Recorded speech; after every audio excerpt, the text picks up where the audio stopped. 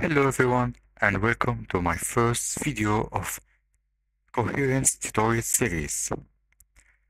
Coherence is a new network engine that make you make that can let you make multiplayer games in less than 15 minutes and less than 10 minutes if you want and port any single player game you have into a multiplayer project very very easy with servers like rooms or like worlds like in MMORPGs. Now, let's start with our video. First of all, let's see our scene. Here a basic scene for a first-person controller made by Unity and you can find it on the asset store. Link is in the, is in the description too. Now, first we need to install Coherence in Unity. So we start with go to Edit, Project Settings, and Package Manager. We enable the pre-release packages, click Understand, and head to our Coherence developer portal after you make your account. Here we find Connect Unity projects. Click Download SDK and we scroll down until you reach here, the outscoped register. Now we shall copy.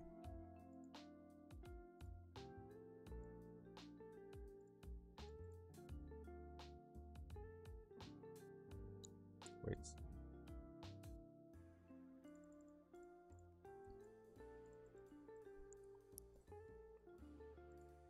Name then URL and scope. And you click save we wait for our loading. Now we exit. Next we go to the package manager. Click packages. We can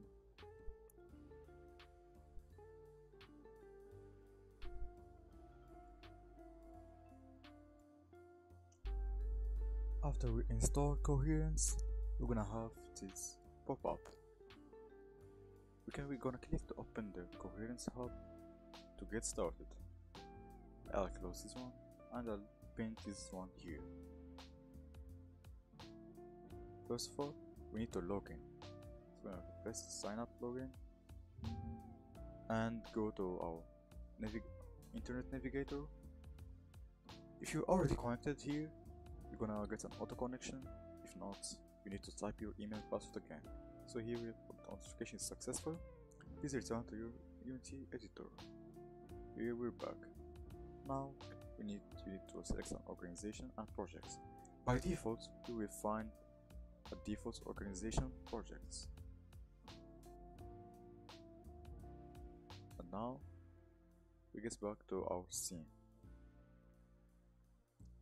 Now we start with the scene setup. So first we need to coherence, scene setup, create monobridge. Here we have our monobridge, then scene setup live query. Here is the area that's that we're gonna need to network. The area that's gonna be networked between all the players. So we're not we to 000 and push the radius to 90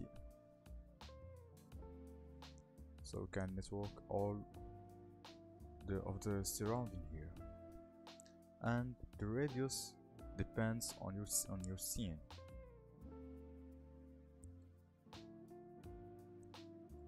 Now we're gonna add as the coherence UI so we can choose and connect to other players since at sample UI and this is our UI and now we start with syncing the player first of all select our player. In, my, in this case we're gonna select this player capsule. We're gonna we're gonna unpack it because it's a prefab here. And we need to make it our own prefab. So player add components and type sync to find Coherence Sync. Now, they ask us to convert into a prefab.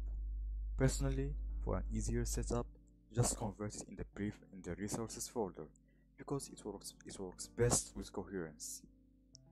So we're gonna convert it and now we got our own prefab and here when in, in load select the resources if it's not already done. Now click to configure and we, we're gonna find our new tab. We go to components and select what we should not sync because we don't want to control other players. We're gonna disable the character controller, the first person controller, the assets inputs, and in player inputs. Player inputs and character controllers must always be disabled. Other components depends.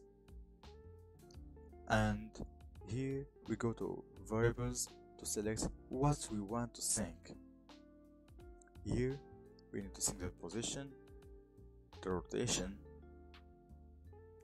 and the and our move speed. Because we no we don't, we don't need the move speed. That's that's all we need. That's all we need to sync in the in the case of our first person controller. Now you're gonna test it. Test it we need to make sure that the project the game can run in background. Go to project settings layer, select your system and choose run in background.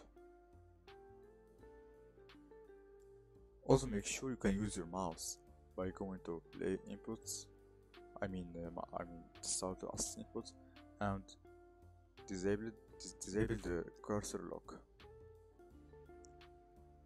Save go to set build build and build settings and build and run.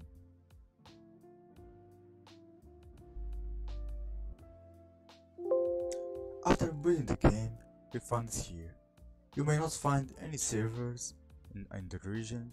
That is because you have no servers yet.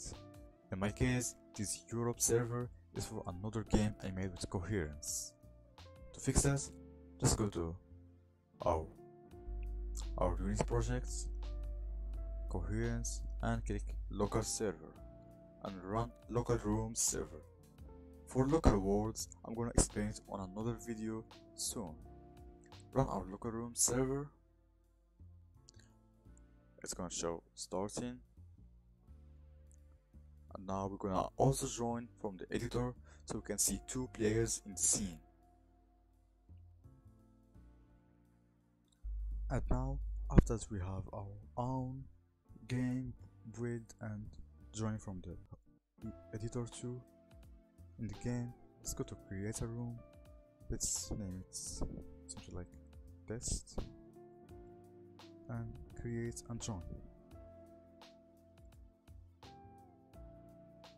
as you can see we can move and we can disconnect from the button there now let's stand here so we can take a look at the other player. Here let's select the let's refresh. And here is the room that we found. You can see the other player here can move. So let's try to see if we can actually see the other the other players. Yeah you see you can see the player move and you can see the player jump.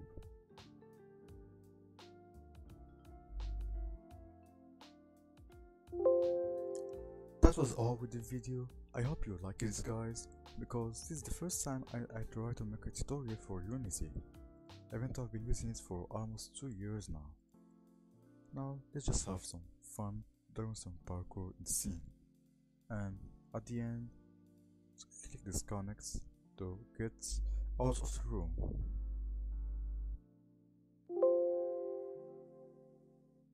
And in case you guys need any help please feel free to join my discord that you're gonna find a link in the description and ask for anything you need. Coherence also got a discord server with a very very active community made most of the time of coherence employees themselves. They can help you they can help you at any problem you got, like I did to prepare subjects of my next video.